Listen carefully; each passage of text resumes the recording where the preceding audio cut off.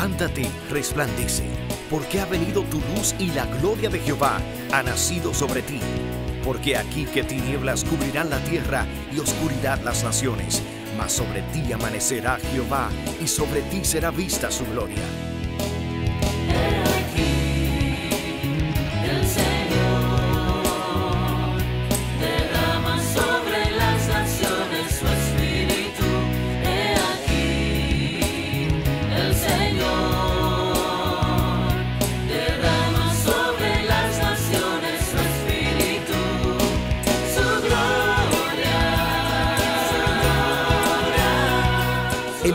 Ministerio El Amanecer de la Esperanza presenta su programa Voz de Restauración con el pastor Juan Radamés Fernández.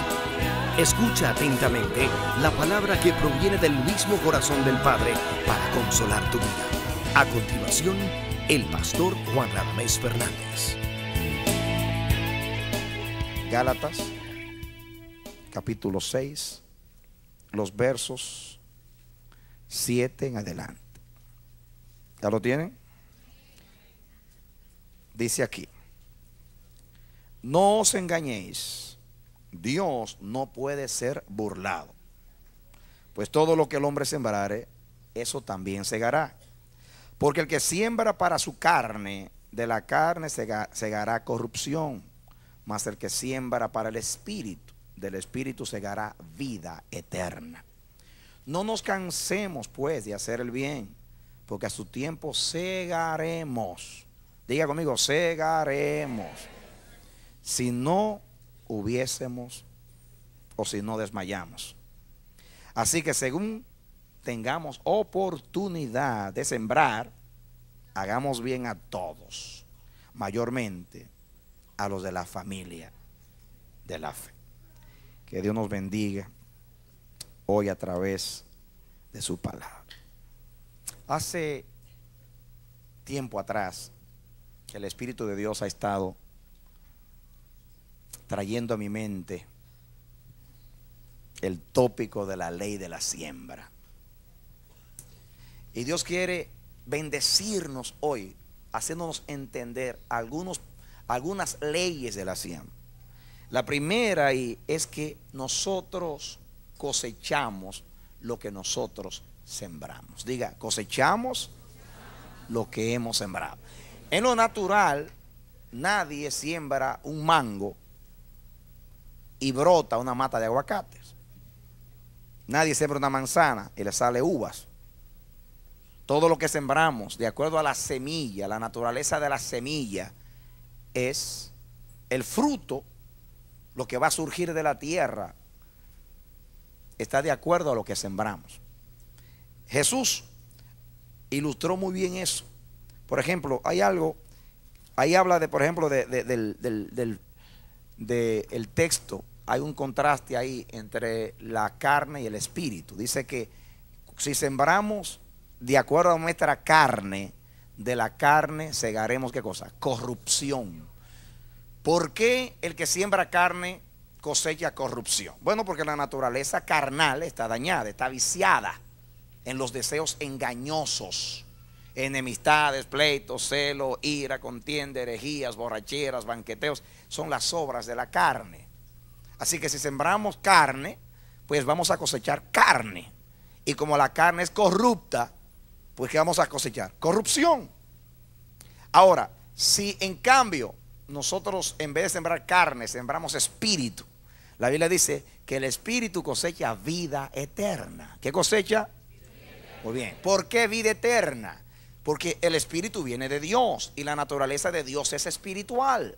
Y como la naturaleza de Dios es espiritual, el fruto de la naturaleza de Dios es el fruto del espíritu. Amor, gozo, paz, benignidad, bondad, mansedumbre y tolerancia. Así que esto confirma que la vida eterna, como hemos enseñado, es la misma vida de Dios. Por ejemplo, la vida eterna es santa porque Dios es santo. La vida eterna es justa porque Dios es justo. La vida eterna es amor porque Dios es amor. Por eso aquí dice que el que siembra en espíritu, pues ¿qué va a cegar? Vida eterna. Va a cegar la vida de Dios. Va a cegar la naturaleza de Dios. Por eso nosotros que hemos nacido en el Espíritu, tenemos a la naturaleza de Dios, hemos recibido la vida, la vida eterna que estaba en el Padre, que se manifestó en el Hijo, y que por la regeneración por el Espíritu, nosotros todos hemos recibido esa vida. Por eso la palabra dice que si hemos nacido del Espíritu, vivamos también en el Espíritu. Vivamos de acuerdo a la vida que Dios sembró en nosotros. Hay, en la parábola de la cizaña y del trigo, ¿recuerdan ustedes? En la parábola de la cizaña y del trigo, eh, los, los siervos vinieron al, al señor de la casa y dijeron, ¿no fue buena semilla la que tú sembraste? ¿De dónde salió esto? Oh, el Señor dijo, ah, vino el malo y sembró cizaña. La cizaña no daña la semilla. Lo que pasa es que como crece al lado y se parece mucho la cizaña y el trigo. De hecho, de hecho, los, los que saben de eso nos dicen que la cizaña y el trigo solamente se pueden distinguir en el tiempo de la cosecha. Hasta el momento de la cosecha son casi iguales. Solamente cuando llega el tiempo de la cosecha, el trigo adquiere un color hermoso, amarillo, rico, lindo, y la cizaña se pone negra. Y entonces ahí usted se da cuenta qué es lo que es trigo y qué es cizaña. Por eso Dios dice, no corten hasta el tiempo del fin. No sea que ustedes para cortar una cosa corten la otra, porque se parece mucho. Claro, en apariencia, pero si usted se sumerge y mira, eh, ah, usted mira adentro lo que se sembró, sabe en realidad distinguir una cosa de la otra.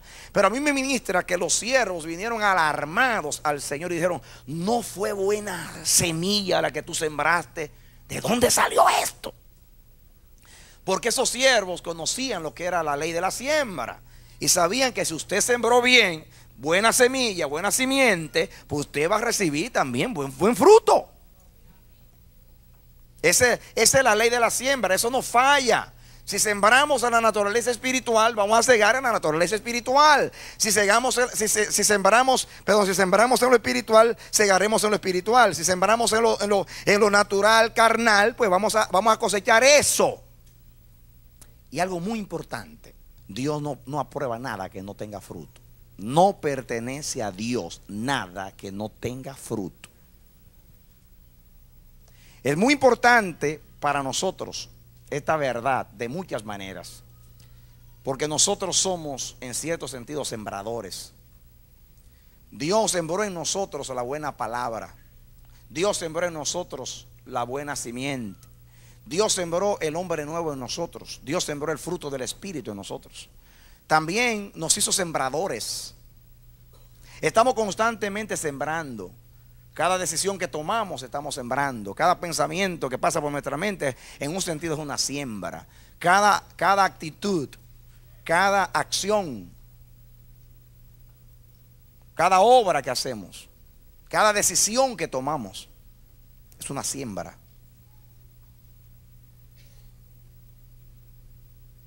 Y aunque esto suena muy pueril, muy elemental,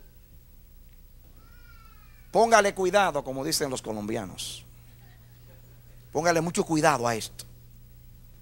Porque si nos este principio anduvieran con nosotros 24 horas, yo dijera, hey, ¿qué voy a sembrar?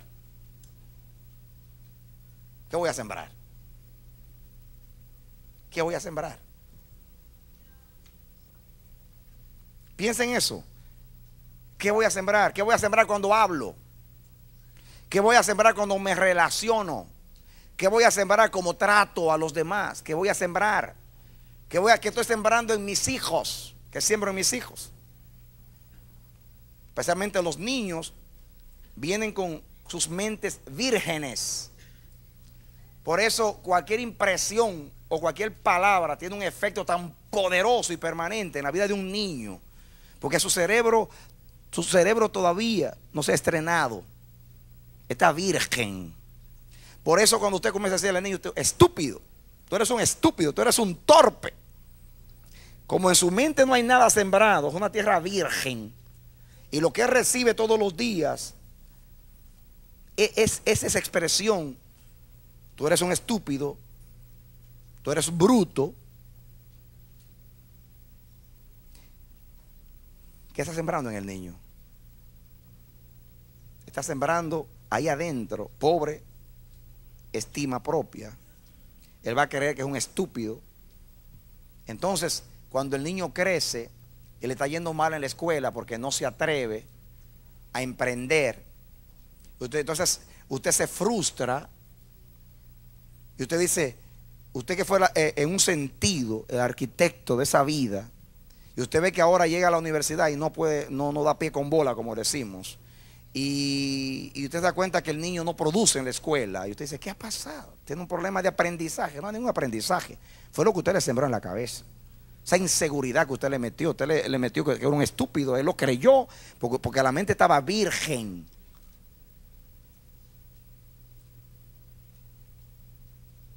Constantemente cuando hablamos estamos, estamos sembrando, sembrando constantemente en los demás.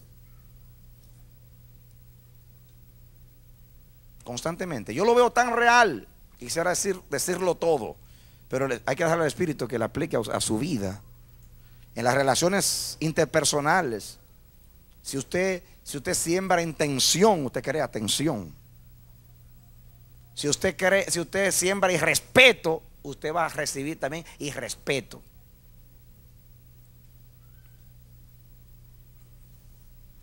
Pero si usted es una fuente del Espíritu y usted siembra amor, ¿qué va a cosechar?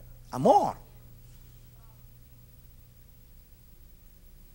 Usted siembra fe y usted, y usted lo que confiesa a su hijo es fe, es palabra de ánimo, palabra de aliento, palabra de estímulo, palabra sazonada con sal, y constantemente le está hablando a su hijo en una manera positiva, en una manera de fe, él lo va a creer.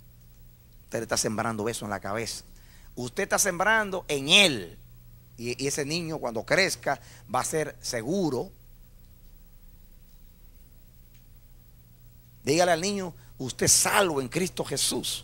Porque hay una promesa, será salvo tú y tu casa. Dios no tiene nietos, tarde o temprano se te va a aparecer, hijo mío. Pero la semilla del temor que Dios ha sembrado en ti germinará un día. Y el Dios de tus padres un día se te va a aparecer y te va a hablar. Háblele eso. Siémbrelo en él. Siembre. Siembre. Hay que sembrar. Cada piense bien en cada decisión que usted tome en su vida, en cuando habla, cuando cuando va a invertir, cuando va a decidir, cuando va a comprar. Nosotros somos mayordomos de Dios. Somos un pueblo iluminado. Tenemos al Espíritu Santo, tenemos la luz de la palabra.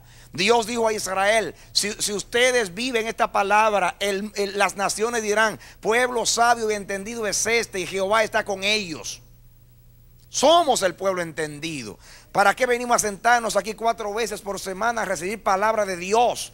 ¿Por qué Dios depositó su espíritu en nosotros? ¿Por qué Dios nos dio su palabra, nos dio su mensaje? Tenemos la sabiduría que no, es de este siglo, ni de los príncipes de este siglo. La sabiduría de los hombres es necedad para con Dios. Es como dice Santiago, es animal, es diabólica. Pero la sabiduría que es de Dios, esa sabiduría da fruto para vida eterna. Esa sabiduría cuando se siembra trae paz, trae amor, trae levantamiento de ánimo, trae victoria, trae lo noble, lo justo, lo verdadero, lo digno de alabanza. Porque esa es la vida eterna, esa es la misma vida de Dios, es la naturaleza, es, es la mente de Cristo. Y eso, eso es lo que va a producir en nosotros. Si sembramos necedad, vamos a, a- cosechar necedad. Pero si sembramos sabiduría, cosecharemos sabiduría. El mundo verá el testimonio de la iglesia. Por eso es importante, Dios ahora en el nombre de Jesús habla tu vida y te siembra el principio de la siembra. Dios no puede ser burlado. Todo lo que hace el hombre, eso también se hará.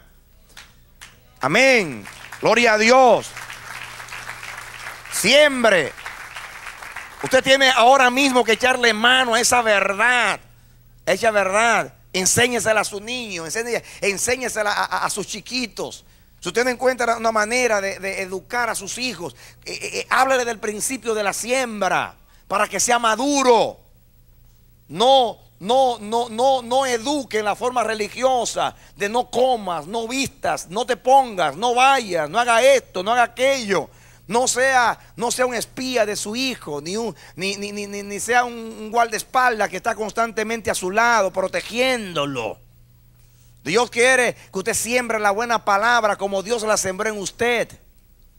Enséñele a sus hijos a, a prever consecuencias.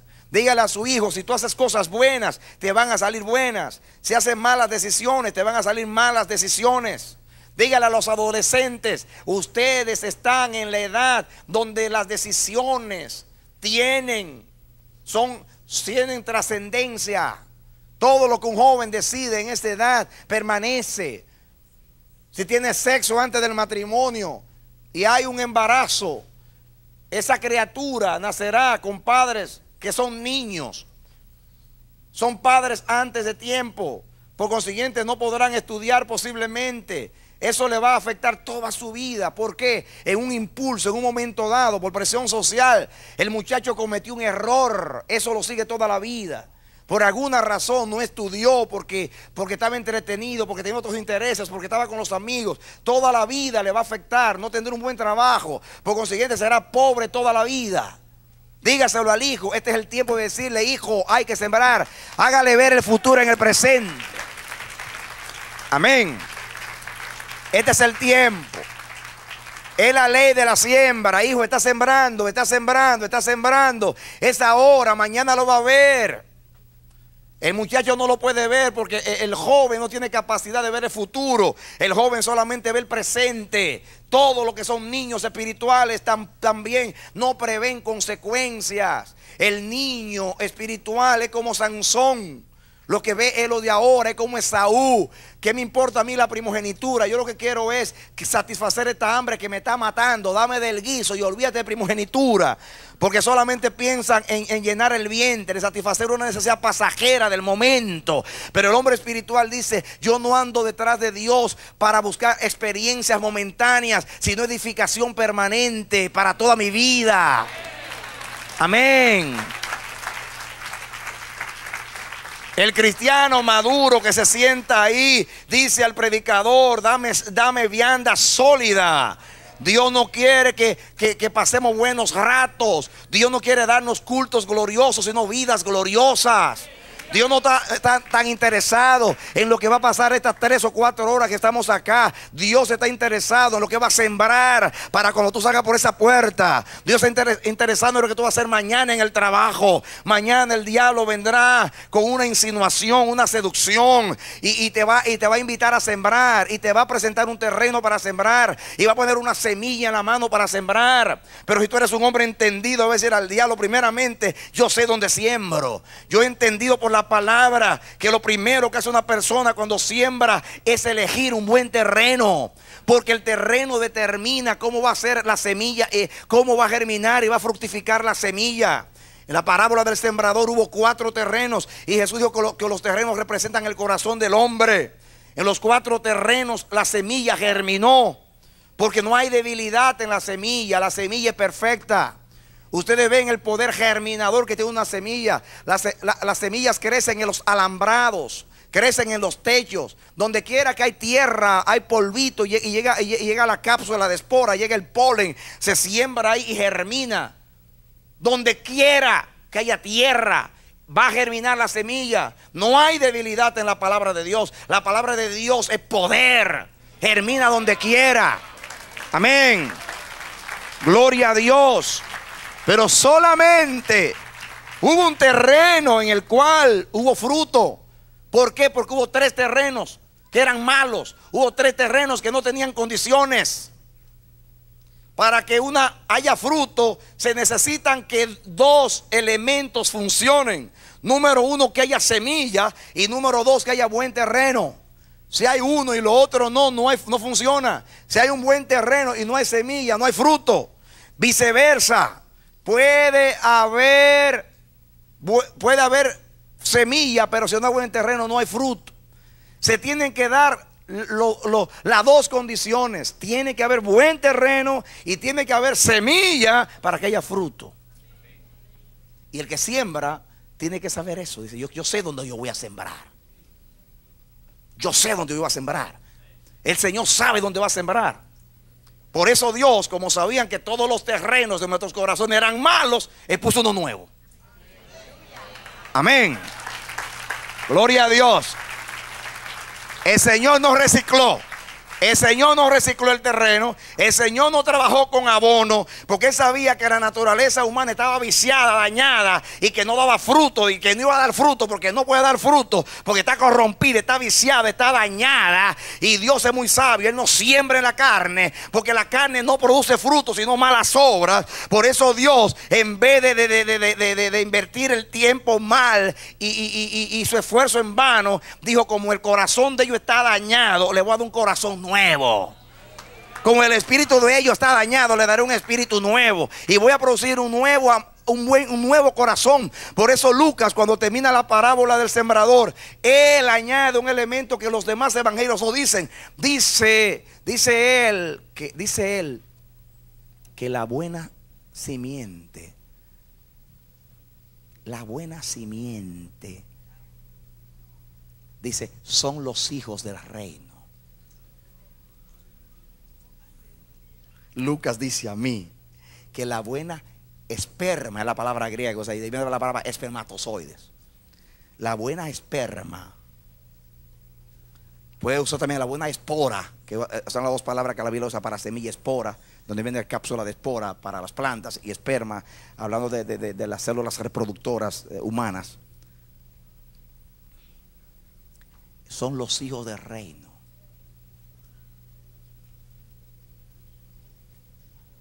Y ese detalle a mí me lo dice todo. A mí me dice que solamente en los hijos del reino que tienen un corazón nuevo y han nacido de nuevo, la semilla da fruto al 100 por uno.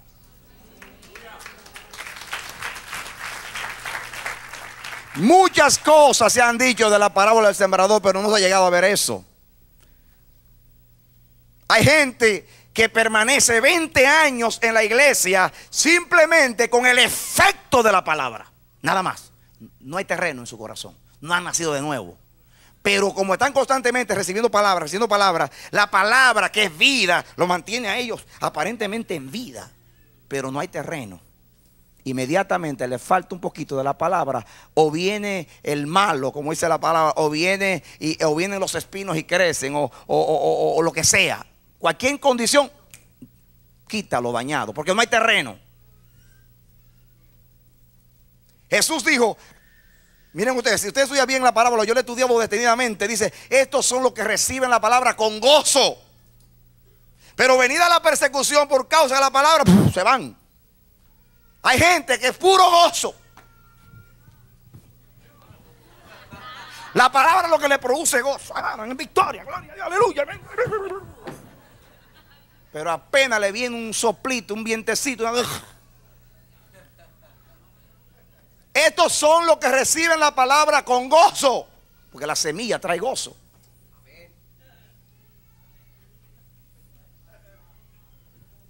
Hay gente que llora frente a la palabra. Llora y confiesan, y, pero no hay fruto.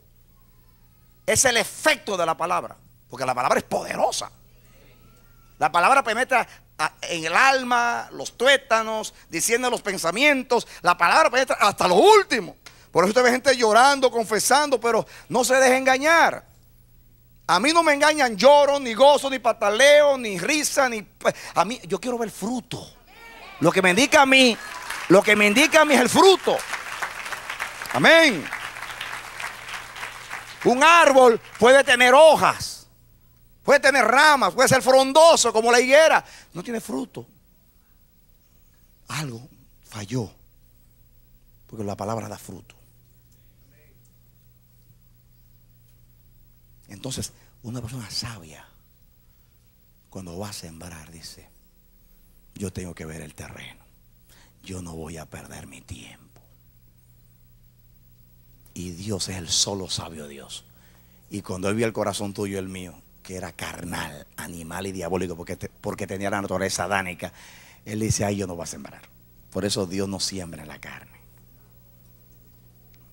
Pero los cristianos que no entienden eso, se pasan la vida entera abonando la carne, regando la carne, podando la carne, reformando al viejo hombre, educando al viejo temperamento del viejo hombre. Y logran como aquella, aquel que perfumó la cerdita y la adoptó y la puso moñito y la acostaba en la cama y la tenía como una mascotita y la trataba también hasta que un día se le fue al patio y se asombró cuando la oyó en el lodo, ahí en el lodo brincando y saltando y asombrarse. Ay, pero tanto perfume, tanto cuidarte. El cerdo vuelve al lodo y el perro al vómito. Y los hijos del reino vuelven a Dios. Amén. Amén. Amén. Es muy importante lo que está sembrado en ti. Tú serás en el presente, en el futuro, lo que tú tienes adentro. Tú hablas lo que eres. Tú piensas como eres. Tú harás como eres. Lo que está sembrado adentro es lo importante. ¿Qué sembró Dios en ti? Yo he entendido que tengo la buena semilla allá adentro. Y consta, Dios me, me ha enseñado. Esa es la trascendencia, la, la bendición que tiene el libro que hemos escrito. Que le va a enseñar a los cristianos a no hacer esfuerzos inútiles, reformando el viejito. El viejito será depravado, será engañoso, será todo eso, man. Déjelo tranquilo, el viejito ese. La Biblia solamente dice dos cosas del viejo hombre. Dice, mátalo. ¿O no dice la Biblia? Matad al viejo hombre. Mátalo. No lo reformes, mátalo. Y dice otra cosa. Despojaos del viejo hombre. Quítate la ropa del viejo. Vístete del nuevo. El cristiano sabio hace como Dios. Lo primero es el terreno. ¿Por qué? Si yo voy a cosechar lo que siembro, entonces tengo que sembrarlo bien. Y lo voy a sembrar en un buen terreno.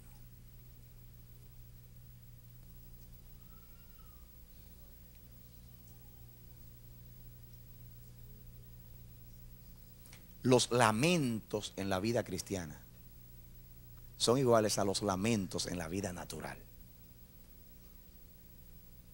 Un joven adolescente que, que- no sembró en los años que había que sembrar, va a pasar toda la vida lamentándose.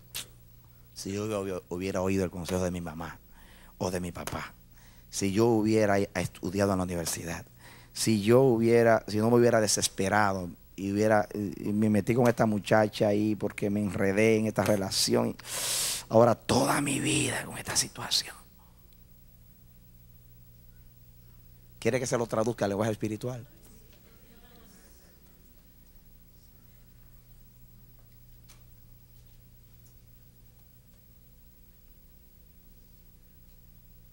Tanto que me lo predicaron, tanto que lo oí.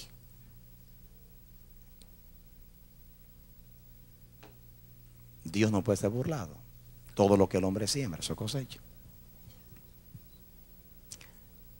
Si usted, por ejemplo, no dedica tiempo a, a ejercitar la piedad, si usted no dedica tiempo a alimentar su espíritu, entonces se está alimentando su carne. Y se está alimentando su carne, usted pasa el día entero en afanes, como dijo Jesús, los afanes de esta vida, los engaños de la riqueza y todas las demás cosas, ahogan lo que fue sembrado. Si usted no dedica tiempo a lo espiritual, tarde o temprano, lo que está sembrado, como dice Jesús, las, las espigas, los afanes van a ahogar todas las cosas. Y entonces viene el lamento. ¿Por qué? Porque cuando yo, no, yo no alimento mi espíritu, yo me, me debilito en, en lo espiritual y me fortalezco en lo natural. Entonces cuando viene la tentación, viene la seducción, entonces no tengo la fuerza y viene entonces viene, viene la caída y con la caída viene la depresión, el desaliento y muchas otras cosas porque no sembré. Cuando entendemos la vida del Espíritu, no vamos a, a- en- entendemos, como dice Pablo, que el hombre espiritual ama lo espiritual y se deleite en las cosas de Dios. Y que el espíritu a la verdad está presto para lo espiritual, pero la carne es débil.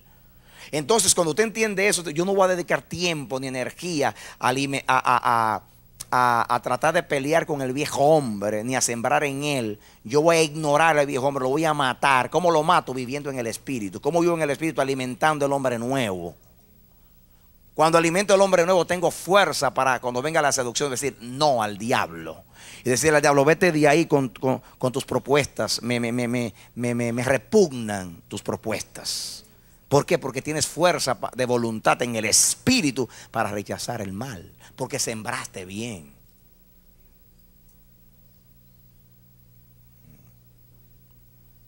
Oh, si cada cristiano tuviera, pudiera valorar lo espiritual, si cada cristiano pudiera prever las consecuencias de no sembrar bien, de cuidar lo que fue sembrado. La palabra dice que el trabajo del diablo es quitar lo que fue sembrado. Léanse las parábolas de Jesús. El malo viene y cuando no puede quitar lo que fue sembrado, entonces siembra cizaña al lado para ahogar la semilla, para confundir. Pero como tenemos entendimiento, somos iluminados, vamos a ser sabios. Cada decisión en la vida tiene trascendencia. ¿Con quién me caso? ¿Dónde voy? ¿Con quién me junto? ¿Quién son mis amistades? ¿Qué como? ¿Qué no como? Todo tiene trascendencia. Todo. ¿Qué dicen mis amigos? Un cambio de trabajo. Si me mudo o no me mudo. ¿Saben ustedes que una mudanza puede ser a un apartamento más amplio por tener una trascendencia terrible? Usted no sabe qué, brujo vive ahí arriba. Usted no sabe qué vecino que pone la, pone la música a medianoche no lo va a dejar dormir. ¿Quién, sabe si a, si a irse para allá está más lejos de, de la congregación o más lejos de aquella persona que esté bendición? ¿Cuántas cosas podría decir? de la trascendencia de una mudanza. Ah, porque allí estoy más cerca del trabajo. Porque allí. No, lo importante es si Dios te lo dijo o no te lo dijo. Amén. Entonces, tiene trascendencia cada decisión. Oh, si yo hubiera sabido. Y Dios te dice, ¿por qué no me preguntaste? Si soy yo el que sé todas las cosas. O no predicamos el siervo de, de- de- de- de Abraham que le juró en el muslo buscarle mujer a Isaac. Y dice la palabra que todo el camino iba orando y dijo, Señor, prospérame, porque si entre miles de mujeres caen, caen a Mesopotamia, solamente una es para Isaac, entonces no me puedo equivocar. Y el único que la, que la conoce eres tú. Y si tú eres el único que la conoces, entonces a ti debo consultar y debo estar ahí pidiendo señal, porque yo no quiero equivocarme, porque solamente hay una y solamente tú la conoces. La única manera de no equivocarse es consultando al que todo lo sabe y al que te guía.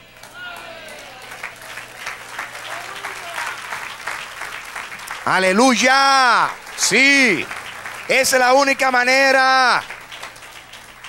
Esa es la única manera. Por eso que el cristiano no anda al azar. Nosotros no sembramos en cualquier terreno, sembramos con sabiduría, con inteligencia. El Hijo de Dios ha venido y nos ha dado entendimiento para conocer la que es verdadero y estamos en el verdadero. Tenemos la sabiduría de Dios. Quiera Dios pasar por nuestra mente y despertarnos. No subestime esta enseñanza. Es importante. Dios te la trae hoy. Entiende, vas a cosechar lo que siembras. Cuídate donde siembras y que siembras.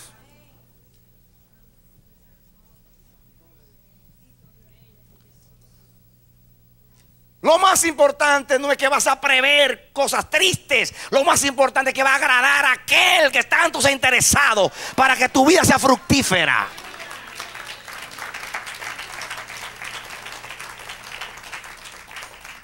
Nuestra recompensa no es tanto el fruto. Nuestra recompensa es agradar a Dios. Verlo contento en nuestra vida. Es nuestra recompensa.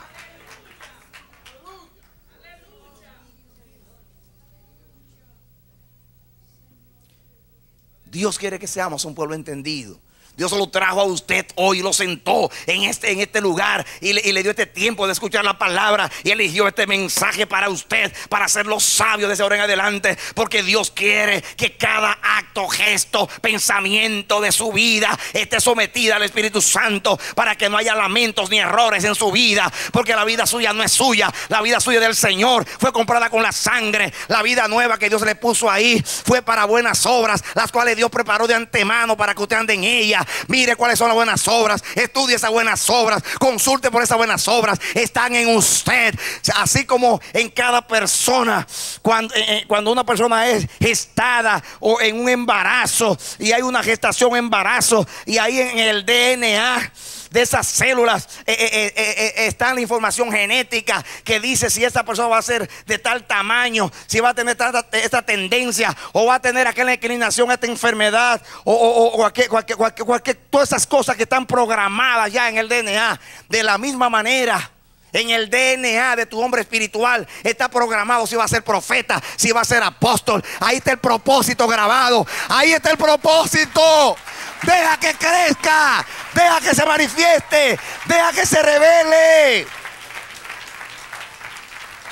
Amén. El hombre nuevo tuyo fue formado por dos células. No fue un óvulo, un espermatozoide, sino la voluntad de Dios, el espermatozoide, y el poder de Dios, el óvulo. Y cuando se juntaron la voluntad de Dios, que desde antes de la fundación del mundo decidió que viniera la existencia espiritual, y cuando mandó el Espíritu Santo a tu vida con su poder, se dio el milagro de que tú eres una nueva criatura en Cristo Jesús. Amén. Y si tú en la vida natural toda la vida has sido un descuidado y por eso no has llegado al máximo en lo natural, debido que era eh, que tú eras una persona eh, eh, una persona indiferente, apática, un- un- una persona que no le importaba nada y no supiste vivir la vida natural. Y ahora te tuviste que conformar con lo menos porque no llegaste al máximo lo natural. Ahora Dios te dice, mira, si no has apreciado la vida natural, yo, me, yo que te di la espiritual te digo, quiero que la vivas al máximo. Tú has recibido vida abundante y de la plenitud de Dios tú has recibido. Vive la plenitud. Sé todo lo que Dios determinó que tú seas.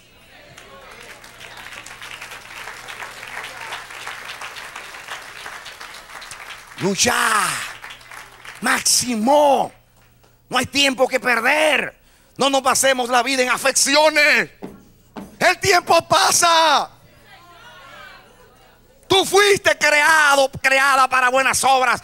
Dios las preparó de antemano para que anduve en ellas. Dile Dios cuáles son las obras de hoy. Yo quiero vivir en las obras de hoy.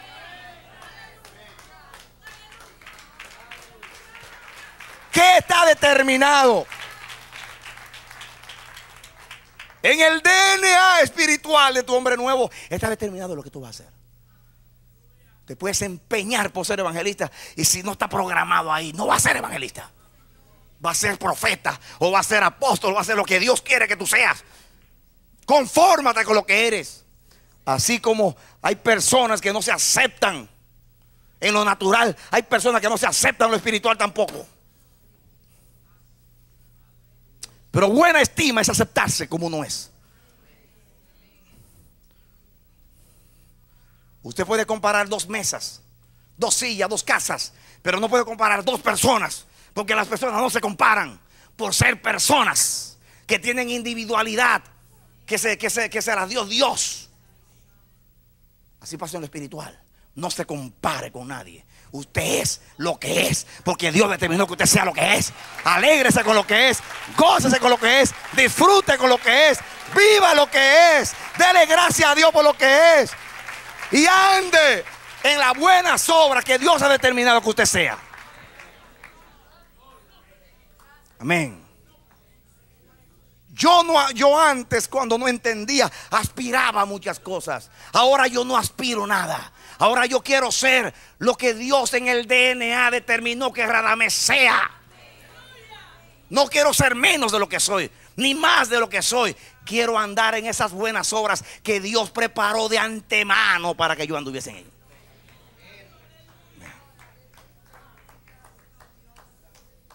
¿Por qué yo tengo 5'8 y no tengo 6'4?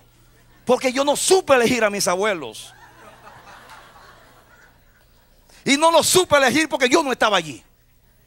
Yo tampoco elegí estar en el reino, ni qué iba a hacer en el reino. Pero el Dios que me ama más de lo que yo me amo a mí mismo, y que me va a honrar más de lo que yo me puedo honrar a mí mismo, y que va a decidir mejor de lo que yo decido, determinó que yo sea lo que soy en el reino de Dios.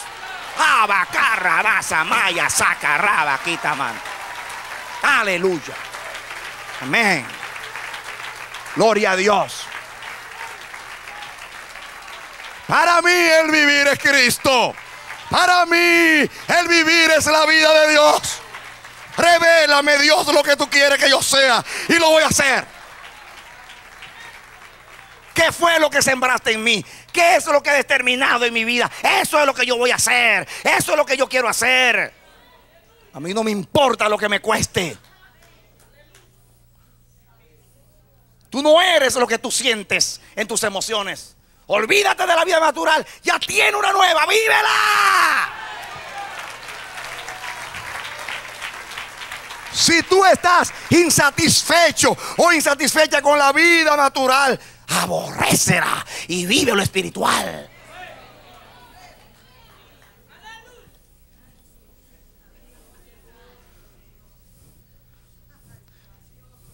Se justifica que esté frustrado en lo natural, porque esta vida trae sus frustraciones, pero en lo espiritual no hay frustración. Mira, dice que no hay temor, porque el amor echa fuera el temor. El reino de los cielos gozo, paz en el espíritu. Pero hay que creer que tenemos una nueva vida.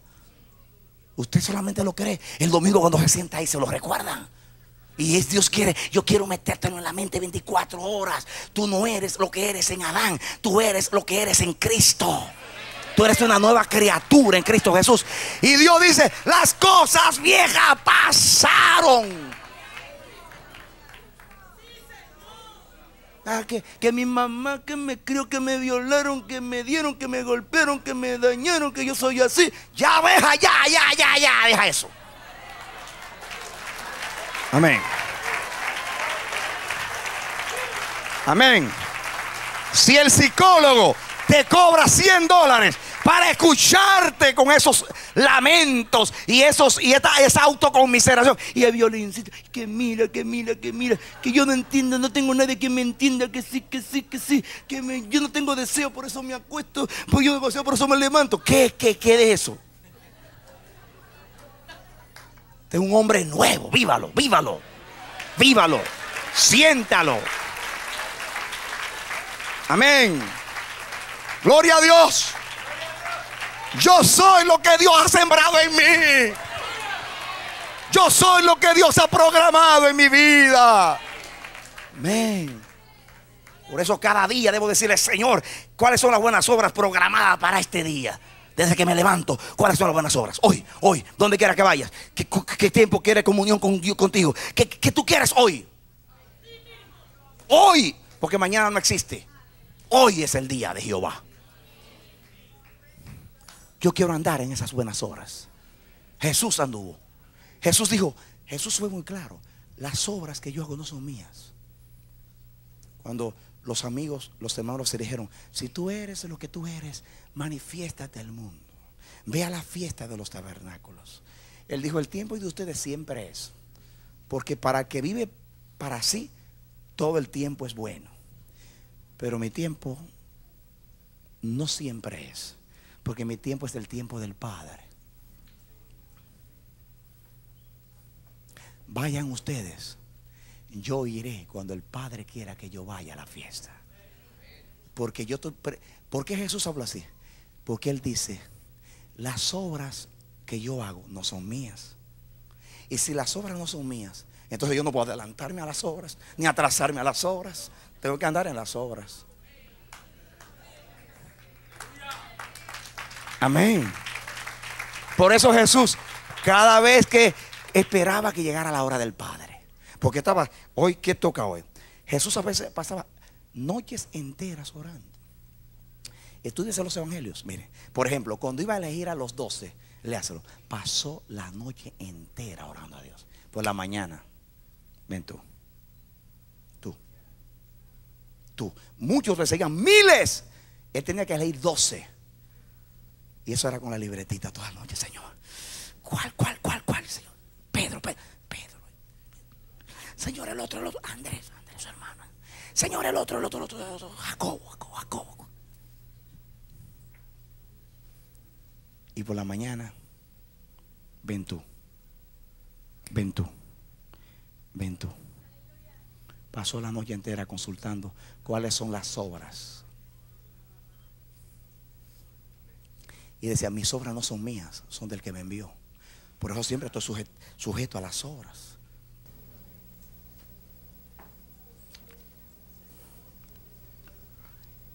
Esto nos va a ayudar a ser sabios, entendidos, a no ser ligeros, a vivir mejor nuestra vida, a saberla administrar. El Señor dice, si me amas, si me amáis, guardad mis mandamientos. No dice, si me amáis, dura ocho horas en el secreto. No dice eso. No estoy diciendo que sea malo el secreto, ni que no hay que ir al secreto. Pero no es cantándole a Dios. Tú eres todo para mí. Tu amor es más dulce que la miel. Y Dios dice, sí. Pues esa miel tuya es muy amarga porque tú no me das la obediencia que yo te doy.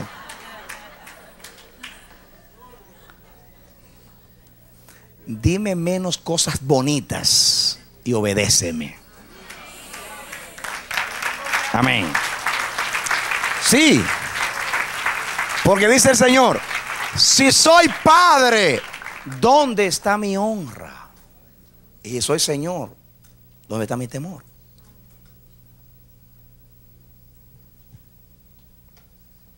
Amar a Dios no es decirle cosas lindas.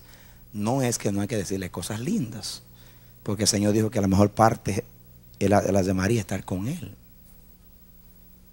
Pero no es suficiente estar con Él. Porque hay muchos que, que no quisieran trabajar para estar con Él. Pero por estar tanto tiempo con Él, no tienen tiempo para hacer las cosas que le mandó a hacer.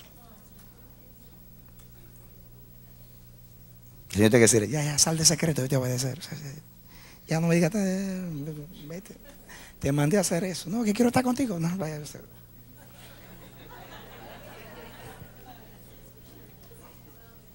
Que me gusta estar contigo. Ojalá que te guste más obedecer.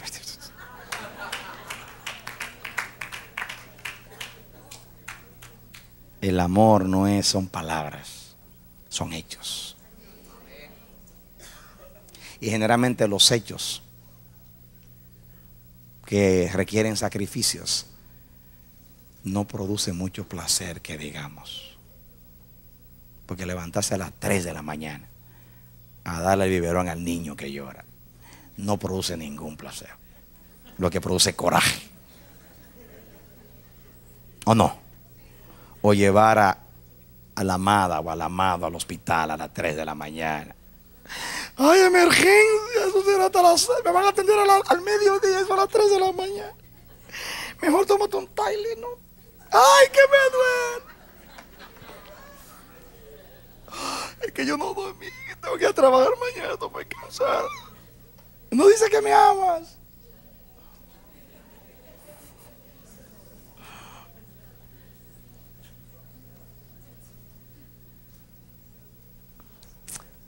Así dice Dios también. Si me amáis, guardad mis mandamientos. El amor se prueba con hechos. De tal manera amó Dios al mundo que compuso el Salmo 121. De tal manera amó Dios al mundo que compuso el Salmo 123.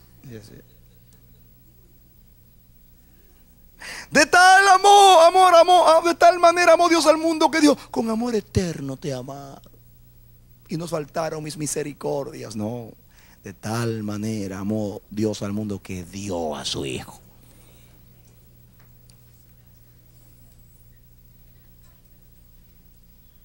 Amén, hermanos. Hay que saber sembrar.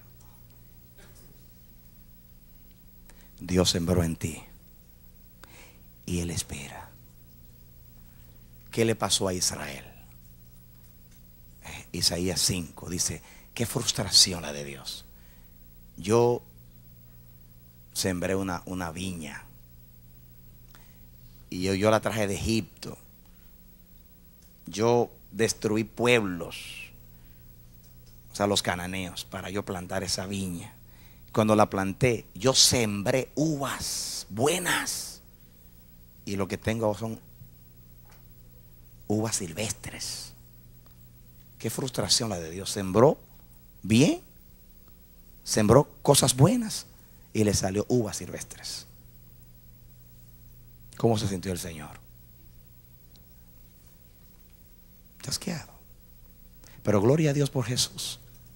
Que Jesús dijo, yo soy la vid verdadera y mi Padre es el labrador. Amén. Y lo que Israel no le hizo a Dios, Jesús se lo cumplió. ¿Y sabe, lo que sigue diciendo? Yo soy la vid, ustedes son las ramas. Y en las ramas es que está el fruto de la vid. Y Dios decidió poner el fruto en nosotros. Para que los hombres vean nuestras obras y glorifiquen al Padre que está en el cielo. Es importante lo que sembramos. Es importante saber lo que Dios sembró en nosotros para saber cómo vivimos. Yo bendigo a cada vida que en este momento está orando.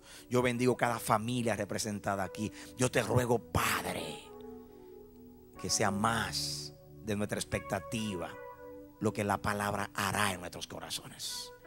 Danos tal corazón que te escuchemos. Danos tal corazón que anhelemos lo que nos predicas. Padre, en el nombre de Jesús. Esperamos que este mensaje haya sido de edificación para tu vida. Si deseas recibirlo en su forma original, puedes solicitarlo a El Amanecer de la Esperanza, P.O. Box 70, Bronx, Nueva York 10473. O visítanos a nuestra página web www.elamanecer.org. Dios te bendiga.